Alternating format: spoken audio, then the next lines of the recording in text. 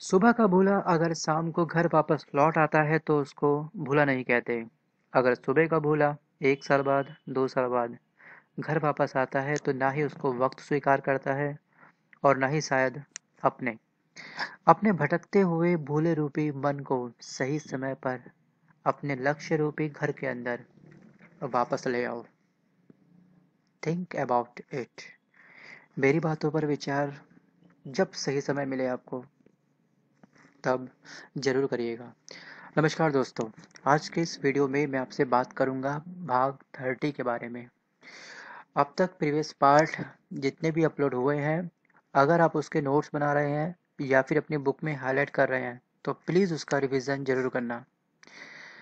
क्योंकि revision is the key of success. कुछ नहीं है कॉम्पिटिशन्स कॉम्पिटिशन्स में बस केवल यही है कि जिस दिन आपने सब्जेक्ट में बैलेंस बना लिया, उस दिन आपकी आपकी सफलता निश्चित है। तो फ्रेंड आज हम बात करेंगे पेज नंबर 89 के बारे में। तो इसमें क्या क्या इंपॉर्टेंट पॉइंट है, केवल उतना ही देखेंगे हम लोग जो हमको पढ़ना है। देखिए इंपॉर्टेंट पॉइंट सब कुछ है। आपका एक्सपीरियंस कुछ और कहेगा, मेरा एक्सपीरियंस कुछ और कहेगा, शर्मा जी का एक्सपीरियंस कुछ और कहेगा, वर्मा जी का कुछ और। तो देखिए, इस बुक में एक एक लाइन जो दी गई है, जो मैंने हाईलाइट नहीं करी है, वो भी एग्ज़ाम के पॉइंट ऑफ़ व्यू से इंपॉर्टेंट है। लेकिन बहुत के चक्कर में हम कुछ भी नहीं पढ़ते। हो तो बहुत हो, वरना कुछ ना हो। इसके चक्कर में हम कुछ पढ़ ही नहीं पाते। तो जो वो कुछ है, कुछ को समेटते हुए कम से कम इतना तो पढ़ो। मेरा टारगेट ये है। एज़ फॉर एग्ज़ाम्पल इसका छोटा सा मैं आपको एक एग्ज़ाम्पल देना चाहूँगा, जैसे आपने कहीं पे मैथ की कोचिंग करने गए। सर आपको स्टार्टिंग में काफ़ी अच्छे लगे, ठीक है? उनके एक दो क्वेश्चन का पैटर्न आपको समझ नहीं आया। उन्होंने नंबर सिस्टम चलाया, आपको अच्छा लगा। उन्होंने क्यूब स्क्वायर सब कुछ करने सिखाया स्टार्ट आपको बहुत अच्छा लगा। अचानक से एक आध चैप्टर आपको उनकी समझ नहीं आया और आपने टीचर पर ठप्पा लगा दिया कि वो कोचिंग सेंटर ही बकवास है, वो टीचर अच्छे नहीं है, आपने छोड़ दिया उसको। फिर किसी और के पास गए सेम यही पैटर्न हुआ। चेंज करते करते करते करते आपका एक साल निकल गया। और वहीं सेंटर पे, आपके पहले वाले सेंटर में एक बच्चा पढ़ता था, उसका सिलेक्शन हो गया। तो इस बात को आप ध्यान रखिए, देखिए, सबका एक्सपीरियंस अलग अलग होगा। हो सकता है कि कई किताब हमको पसंद ना आए तो ऐसा नहीं कि आप उसको छोड़ देंगे। सेलेक्टेड बुक इस बुक में एक्चुअली जो रेलवे की बुक जो स्पीडी बनाई गई है, बहुत अच्छी बुक बनाई गई है। ये आपके हर एक एग्ज़ाम में कहने के काम आएगी। अगर आप रेलवे का एग्ज़ाम देते हैं, तब तो आनी आनी है। उसके अलावा एसएससी का एग्ज़ाम दे रहे हैं आप लोग, किसी पोस्टमैन का एग्ज़ाम दे रहे हैं आप लोग, किसी पुलिस का एग्ज़ाम दे रहे हैं बैंकिंग का एग्ज़ाम दे रहे हैं, वहाँ सब जगह काम आएगी।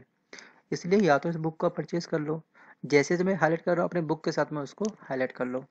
देखिए मार्केट में मेरे हिसाब से बड़ी आसानी से बुक मिल जाएगी है मार्केट में कोई ऐसी दुकान है जो कंपटीशन की बुक रखता है, उस पर आसानी से मिल जाएगी अगर ना मिले तो फिर मजबूरन आप एक काम करना कि इसको ऑनलाइन परचेज़ कर लेना। इस बुक का लिंक मैं आपको डिस्क्रिप्शन बॉक्स में दे दूँगा। चाहे तो वहाँ से परचेज़ करना, चाहे तो लेकिन पहले मार्केट में ट्राई करना। दुकानदार को बोल देना, लिखवा देना बुक वो ले आएगा कल परसों। तब जाके उससे वहाँ से ले लेना दुकानदार से। भाई ऑनलाइन परचेज़ करोगे, हफ़्ता भर वो लेगा, उसके बाद वो आपको देगा तो यहाँ पे आपका टाइम खर्च होगा। जहाँ से सुटेबल लगे वहाँ से करो। पेज नंबर 89 आज का जो पहला पॉइंट है, वो है कि राज्य अपहरण। इसको बोलते हैं राज्य हड़प की नीति। दोनों वर्ड एग्ज़ाम में यूज़ कर सकता है। इसकी शुरुआत किसने करी थी? इसकी शुरुआत की थी लॉर्ड डलहौजी द्वारा। देखिए एग्ज़ाम में ना लॉर्ड से संबंधित क्वेश्चन एक ना एक ज़रूर पूछेगा आपसे। या तो पूछ लेगा लॉर्ड कैनिंग के बारे में 1857 की घटना जो हुई थी, वो किसके, उस समय वायसराय कौन था, ये पूछ लेगा आपसे। तो आप ये याद रखना, उसका नाम था लॉर्ड कैनिंग और भी बहुत सारे रहे हैं, जैसे लिंटन रहा है नॉर्थ ब्रुक रहा है, डफरिन रहा है, आपका एल्गिन रहा था, आपको याद होगा, ठीक है? तो ऐसे जितने भी आपके हैं, जैसे कि कर्जन भी रहा था।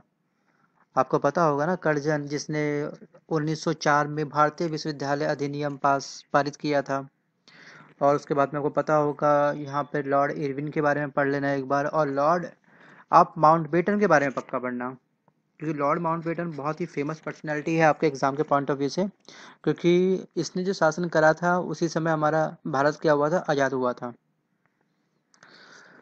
तो एक लिस्ट होगी आपकी बुक में लुसेंट की नीरी वाली बुक में तो प्लीज़ उस लिस्ट को एक बार रिवीजन ज़रूर करना उसका, मैं बढ़ता हूँ आगे। तुम मुझे खून दो, मैं तुम्हें आज़ादी दूँगा, को सुभाष चंद्र बोस ने कहा था। ये कथन किसका था? सुभाष चंद्र बोस का। प्रथम ओलंपिक पदक विजेता, भारतीय खिलाड़ी के डी जादव है और मुक्ति बोध के नाम से गजानंद माधव को जाना जाता है। जिब्राल्टर जलडम मरुमध्य अफ्रीका को यूरोप से अलग करता है और विषाणु में लाइकोप्रोटीन पाया जाता है। डाउन सिंड्रोम से पीड़ित व्यक्ति में 47 गुणसूत्र होते हैं। प्रथम ऐतिहासिक सम्राट चंद्रगुप्त मौर्य को माना जाता है। और भारत में उपराष्ट्रपति के चुनाव से संबंधित सभी संदेह तथा विवादों का निर्णय सर्वोच्च न्यायालय करता है। अगला पॉइंट है, अंतर्राष्ट्रीय न्यायालय की स्थापना 3 अप्रैल 1946 को हुई थी और भारत में एसटीडी सेवा 1960 में प्रारंभ हुई थी। एक नॉटिकल मील मतलब समुद्री मील, में कितने किलोमीटर होते हैं, या तो एग्ज़ाम में आपको देगा एक नॉटिकल मील बराबर कितने किलोमीटर, या फिर आपको देगा एग्ज़ाम में एक समुद्री मील में कितने किलोमीटर होते हैं, आपसे ये पूछेगा। तो देखिए, टर्म कुछ भी यूज़ कर सकता है। तो इसमें टोटल होते हैं एक हज़ार आठ सौ बावन किलोमीटर। और उत्तरी भारत की खोज कोलंबस द्वारा की गई थी। ये तो नाम है पर्सनैलिटी का, लेकिन कब करी गई थी? या तो नाम पूछेगा व्यक्ति का, या फिर पूछेगा वर्ष। तो ये करी गई थी 1492 में। सूर्य सूर्योदय का देश बोलते हैं जापान को, और अमेरिका 6 अप्रैल 1917 में प्रथम विश्व युद्ध में शामिल हुआ था। और जीवों के अवशेषों का, आयु का पता कार्बन फोर्टीन डेटिंग के द्वारा लगाया जाता है। विश्व पृथ्वी दिवस कब मनाया जाता है? 22 अप्रैल को मनाया जाता है और लाला लाजपत राय की मृत्यु साइमन कमीशन के विरोध रैली के नेतृत्व करते हुए पुलिस लाठीचार्ज में हुई थी। अजय देवगन की एक मूवी है भगत सिंह। कभी भी टाइम मिले संडे को तो प्लीज़ ज़रूर देखना उसको। बहुत सारी चीज़ें आपकी उस मूवी के द्वारा क्लियर हो जाएँगी। आगे बढ़ता हूँ। ड्रिबल शब्द फुटबॉल से संबंधित है और स्वतंत्र भारत के प्रथम भारतीय गवर्नर जनरल सी राजगोपालाचारी थे। डंकन पास, दक्षिण अंडमान और लघु अंडमान के बीच स्थित है। अबुल फजल अकबर के दरबार में थे। तैयारी इतनी पुख्ता होनी चाहिए कि अकबर से संबंधित काफ़ी सारी चीज़ें हैं आपको जो पता होनी चाहिए। जैसे कि दास प्रथा का अंत अकबर ने करा था पंद्रह में 1562 में। और इसी के टाइम हुआ था दीन इलाही की स्थापना। ये भी एग्ज़ाम में केवल पूछता है तो वो हुई थी पंद्रह में और इलाही संवत की शुरुआत जो करी थी, वो करी थी पंद्रह में इसी ने। और जजिया कर समाप्त किसने करा था एग्ज़ाम में? कई बार ये क्वेश्चन पूछा गया तो वो भी करा था अकबर ने, लेकिन कब करा था बात करें वर्ष की तो वो है आपका 1564 देखिए, ये सब चीज़ें ना आपको टिप्स पे याद होनी चाहिए। जैसे मैं आपको भी बता रहा हूँ ठीक है, टिप्स भी मेरे याद हैं। तो ये सब चीज़ें कैसी होती हैं? ये सब बनती हैं प्रैक्टिस से। आपको अपना एक अभी से हंड्रेड परसेंट दिमाग को पढ़ाई में लगाओ और रिवीजन करो, ठीक है? तो जो जो मैंने आपको बताई चीज़ें, अगर आपके पास बुक है तो साइड में इन चीज़ों को लिख लो। इसी बुक में लिख लो, साइड में अकबर पे एक एरो बनाओ, नीचे जो स्पेस होगा आपका बुक में उस पर लिख लो। बुक नहीं है तो इसको कहीं ना कहीं किसी पेपर में पेन डाउन करना। अगर पेन पेपर बहुत दूर है घर से तो देख लीजिए फिर।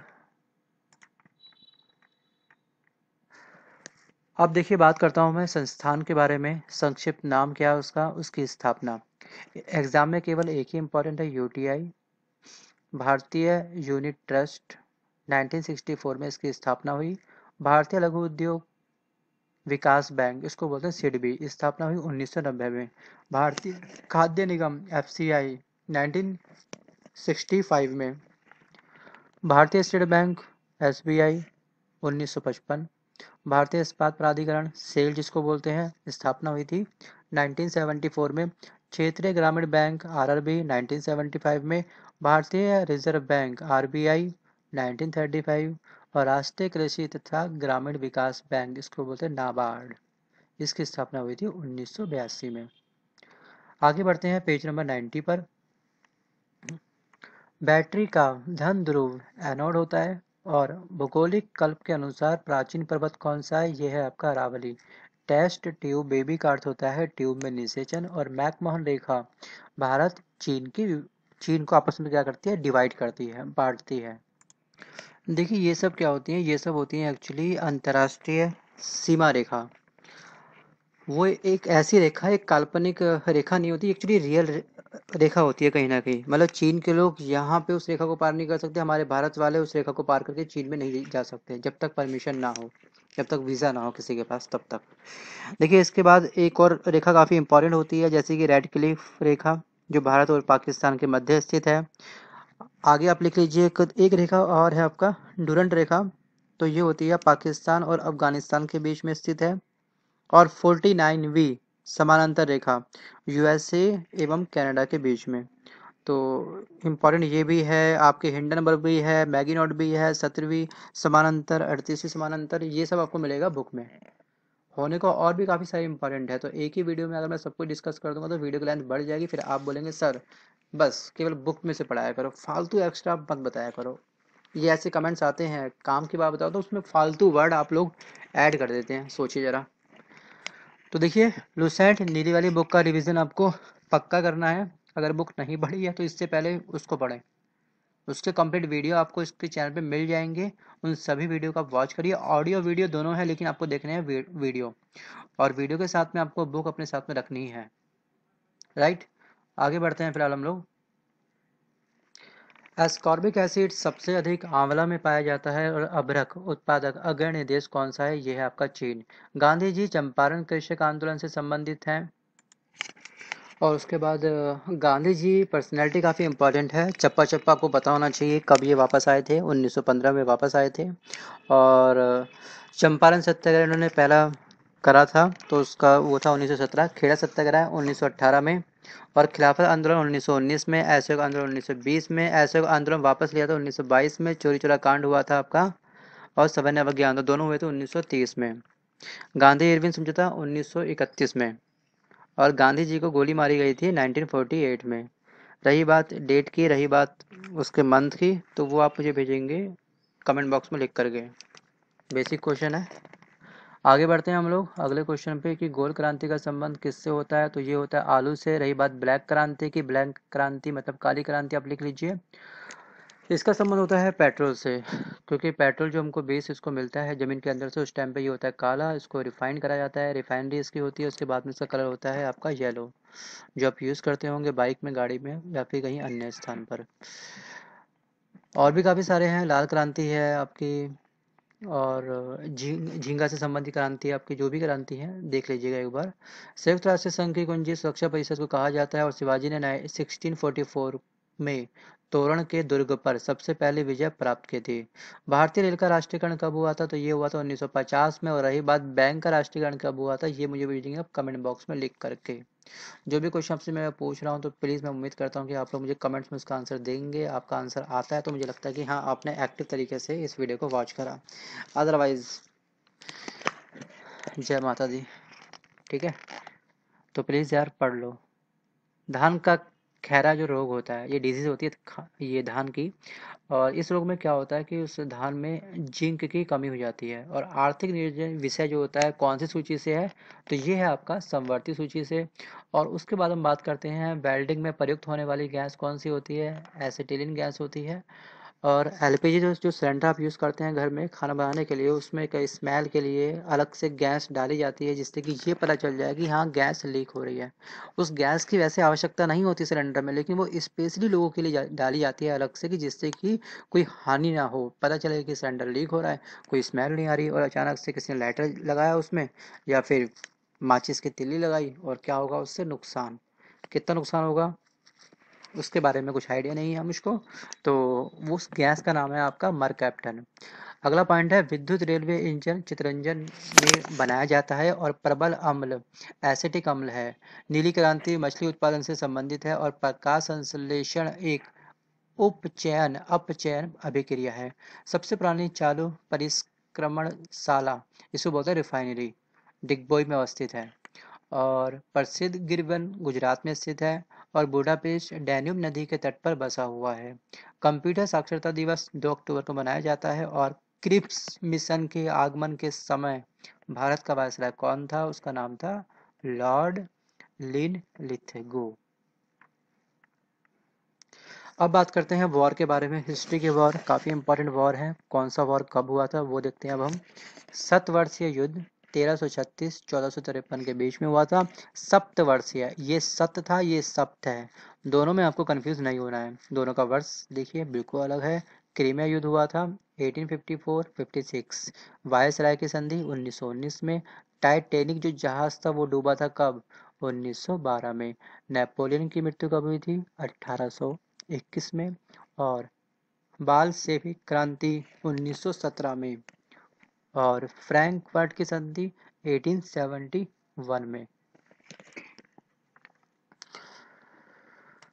देखिए एग्ज़ाम में आपसे इसके चिन्ह तो नहीं पूछता लेकिन एग्ज़ाम में आपसे बस ये पूछ ले, लेता है कि टोटल कुल कितनी राशि होती है? दस ग्यारह बारह तेरह। पता है आपको? तो ये होती है टोटल मिलाकर के बारह। देखते हैं कौन कौन सी। एक दो तीन चार पाँच छः सात आठ नौ दस ग्यारह बारह। अब उसमें भी केवल इम्पोर्टेंट आपको अगर चिन्ह पूछ ही लिया एग्ज़ाम में ज़रूरत से ज़्यादा ग्रह खराब हुए आप लोगों के, अगर इन केस तो आपसे पूछेगा, कुंभ राशि का चिन्ह क्या है? तो वह है आपका घड़ा, वृश्चिक का बिच्छू और मेष राशि का भीड़। चांस नहीं है पूछने के one zero point one percent आप मान लीजिए चांस है पूछने के। तो बस रिस्क क्यों लेना है? वीडियो को पॉज कर लीजिए, इसको कहीं पे नोट कर लीजिए, अपने नोट्स में। आगे बढ़ते हैं हम लोग। दूरी के अनुसार ये लिस्ट आपको याद करनी है, आकार के अनुसार ये लिस्ट आपको याद करनी है। अब मंगल लाल क्यों होता है? शुक्र को मॉर्निंग स्टार इवनिंग स्टार बोला जाता है। जो भी इसके अन्य नाम है, वो सब आपको मिलेगा उस बुक में से लूसेंट की नीली वाली। मैं इस एक छोटे से वीडियो को लेंथी नहीं करना चाहता। मैं एक पेज पे आपको इतना बता सकता हूँ कि आपका ये वीडियो कम से कम 45 मिनट तक खिंच सकता है। लेकिन फिर अननेसेसरी फिर आपको लगेगा कि हम लोग किताब में से भटक रहे हैं कहीं ना कहीं। अगर आपको पता होगा ना तो आपके माइंड में ये चीज़ पक्का आएगी कि हम लोग भटक रहे हैं किताब से कहीं और। लेकिन काम की चीज़ वो भी है। अब एक लाख सब्सक्राइबर सब्सक्राइबर इस चैनल पे हैं तो वो बात किसी ना किसी के लिए इम्पोर्टेंट होगी। आपको आता है, अच्छी बात है। लेकिन ये कंपलसरी नहीं है कि वो सबको भी आता होगा। पेज नंबर 91 श्वेत क्रांति का संबंध दुग्ध उत्पादन से होता है। चेचक के टीके की खोज एडवर्ड जिनर ने किया था। विटामिन सी गर्म होने पर क्या होता है? नष्ट हो जाता है। महात्मा गांधी की हत्या नाथुराम गोडसे ने करी थी। कब करी थी? 30 जनवरी 1948 को। महात्मा गांधी का जो मैंने आपसे डेट और मंथ पूछा था, वो यहाँ पे कवर हो गया। और उसके बाद जो मैंने क्वेश्चन आपसे पूछा है, आप उसका रिप्लाई चाहें तो कर सकते हैं। सतलुज चिनाब और रावी सिंधु नदी की सहायक नदी है और भारत में कर्क रेखा उज्जैन शहर से निकलती है। नर्मदा नदी का उद्गम मैकाल पहाड़ी के अमरकटक चोटी से हुआ है और ताइवान देश का पुराना नाम क्या है फार्मोसा। हेनसांग ने हर्षवर्धन के शासनकाल का विवरण लिखा था और अजंता की गुफाएँ महाराष्ट्र में स्थित हैं। उसके बाद 1916 में मद्रास में स्वय शासन आंदोलन के प्रवर्तक कौन थी? Annie Besant. पंजाब के राजा रंजीत सिंह की राजधानी लाहौर थी और 51 के में भारतीय नागरिक के मूल कर्तव्यों को दिखाया गया है। रेफ्रिजरेटर में खाद्य पदार्थों को ताज़ा रखने के हेतु सुरक्षित तापमान होता है फाइव डिग्री सेंटीग्रेड या फिर सेल्सियस दोनों का मतलब एक ही होता है, ठीक है? सेंटीग्रेड सेल्सियस बस कोई मुंबई बोलता है, कोई बॉम्बे बोलता है, अभी भी। तो बोलने का तरीका अलग अलग है, लेकिन स्थान तो एक ही है तो वैसे ही सेंटीग्रेड सेल्सियस दोनों सेम है। जलते हुए विद्युत बल्ब का तापमान कितना होता है? तो ये होता है 1500 डिग्री सेंटीग्रेड से लेकर के 2500 डिग्री सेंटीग्रेड तक। प्रार्थना समाज के संस्थापक महादेव गोविंद रानाडे एवं आत्माराम पांडुरंग थे। Solder S N plus B का मिश्र धातु है। एकेबाना, जापान में पुष्प विन्यास का प्रचलित प्रकार है और कुचिपुड़ी लोक नृत्य का संबंध आंध्र प्रदेश राज्य से है। न्यूयॉर्क हडसन नदी के तट पर बसा हुआ है। उसके बाद हम बात करते हैं झील के बारे में, देश के बारे में। कैस्पियन सागर झील रूस तथा ईरान के बीच में है और सुपीरियर झील अमेरिका तथा कनाडा के मध्य। देखिए, विश्व एवं भारत के प्रमुख झीलों के बारे में बताया गया है लिस्ट आप पढ़ लीजिएगा एक बार। बेकाल झील, सोवियत संघ, डल झील जम्मू कश्मीर में है बुलर झील जम्मू कश्मीर में है सांबर झील राजस्थान में है, लोकटक झील जो है आपका मणिपुर में है। चिल्का झील उड़ीसा में लुनार झील महाराष्ट्र में। और मुझे ये भी पता है कि कुछ लोगों को लग रहा होगा, पुलिकट झील क्यों नहीं करा उन्होंने हाईलाइट देखिए, पुलिकट के भी इंपॉर्टेंट है, लेकिन ज़्यादा इम्पोर्टेंट नहीं लगा मुझको। अगर आपको लगता है कि ये पुलिकट झील भी इम्पोर्टेंट है तो आप अपनी बुक में इसको अपने अकॉर्डिंग हाईलाइट कर लीजिए। देखिए, आपको मेरा एक्सपीरियंस भी ऐड करना है अपनी स्टडी में और अपना एक्सपीरियंस करना ही करना है। देखिए पुलिकट झील भी मानता हूँ कि काफ़ी सारे एग्ज़ाम में मतलब पूछा गया है, लेकिन रेलवे के पॉइंट ऑफ़ व्यू से ज़्यादा इंपॉर्टेंट मुझको लगा नहीं तो मैंने इसको इसलिए लगाया नहीं। राइट तो फ्रेंड बस आज के इस वीडियो में इतना ही करता हूँ। आगे 92 पेज नंबर हम करते हैं। अगले वीडियो में डिस्कस और फ्रेंड्स अधिक जानकारी के लिए वीडियो के नीचे दिए गए डिस्क्रिप्शन बॉक्स पर क्लिक करें। इन सभी बुक का आपको मिल जाएगा वहाँ पर वीडियो आप चाहें तो वो सब वीडियो वॉच कर सकते हैं। अगर ये वीडियो पसंद आए तो प्लीज़ इसको लाइक करिएगा, अपने फ्रेंड तक इस वीडियो को शेयर ज़रूर करिएगा। ठीक है? शेयर करिएगा, क्योंकि देखिए आप भी पढ़िए, औरों को भी पढ़ने का पूरा पूरा मौका दीजिए। और मेरा एक छोटा सा विचार है कि एक स्पीडी की ऑब्जेक्टिव बुक आती है रेलवे की। तो मेरा विचार है उसको स्टार्ट करने का, लेकिन अब समस्या यहाँ पर ये है कि उस पीडीएफ को स्कैन कौन करे? क्योंकि मैं काफ़ी सारे बुक को स्कैन करता हूँ डेली फिर उसके बाद में पीडीएफ डिज़ाइन करता हूँ। स्कैन करते समय मतलब बुक तो खैर ख़राब होती होती है, वो तो मैं बुक को फाड़ देता हूँ। एक एक पेज को अलग निकाल करके एक तरीके से उसको फ्लैट जो एग्ज़ाम बोर्ड आता है, उसको परख के मैं स्कैन करता हूँ। इसलिए आपको हर एक पेज बिल्कुल स्ट्रेट दिखाई देगा। अगर आप देखें साइड में जो सिलाई होती है ना यार तो वो आपको अगर सिलाई होगी तो ये अक्सर क्या होंगे, लहरते हुए दिखाई देंगे आपको, दबे हुए दिखाई देंगे, ठीक है? अभी ये जो वर्ड आपको सीधे दिखाई दे रहे हैं, ये हमने खुद स्कैन करा है। ये मैंने अकेले ने एक्चुअली खुद स्कैन करा एक एक पेज हाँ कुछ पेज मैंने एक स्टूडेंट से मंगवाए थे, जिसमें मैंने पार्ट ट्वेंटी सिक्स में डिस्कस करा था इसका नाम। पप्पू यादव उनका नाम था तो उन्होंने मुझको बारह पंद्रह पेज भेजे थे स्कैन करके, बल्कि अट्ठारह पेज कम से कम भेजे थे स्कैन करके। बाकी बुक में पेज कितने आप जरा लगाइए अपना आइडिया तो हर एक पेज को फिर स्कैन करना, फिर लूसेंट की ऑब्जेक्टिव बुक भी चल रही है, उसको भी स्कैन करना पड़ता है, फिर दिल्ली पुलिस की जो मॉक टेस्ट लाया हूँ उसको स्कैन करना पड़ता है और पेज की जो कटिंग होती है, वो पेज वैसे नहीं फटते पेज को एक्चुअली ब्लेड से काटना पड़ता है। स्केल रख के काटोगे, तब भी पेज अचानक से यहाँ से क्या होगा, अचानक से फट जाएगा। स्केल से काटो तो ब्लेड से ही स्केल रख के साइड से एक ढंग से लाइन खींचनी पड़ती है। और कहना कि फिंगर में भी कट बहुत ज़्यादा लगता है थम में, और वो भी राइट थम में, और राइट थम से आपको कई काम करने पड़ते हैं लिखने के। तो सोचिए ज़रा एक बार। तो बस अगर कोई मुझे पीडीएफ भेज सकता है इसकी ऑब्जेक्टिव बुक की, भेज सकता है। मुझे पता है वैसे कोई भेजने वाला है नहीं है, मैं तो ऐसे ही बोल रहा हूँ। क्योंकि मैंने तेरह पेज के रेलवे के बारे में डिस्कस करा था आपसे। मुझे तेरह पेज की रिक्वायरमेंट रिक्वायरमेंट थी, लेकिन आगे कोई नहीं आया। बस एक बच्चा आया जिसका मैंने डिस्कस करा था पार्ट ट्वेंटी सिक्स में, उसका नाम। तो बस उम्मीद करता हूँ कि क्या पता आप लोग मुझको उसका पीडीएफ प्रोवाइड करवाएँगे। करवाएँगे तो अच्छी बात है, वरना यही बुक कंटिन्यू चलेगी। लगेगा मुझे खुद स्कैन करना है, मैं खुद स्कैन करूँगा, फिर और क्या होगा? है ना भाई? आपके कष्ट करेंगे। आप तो पढ़िए ना अपना आराम से। No tension bye bye take care please hit the like button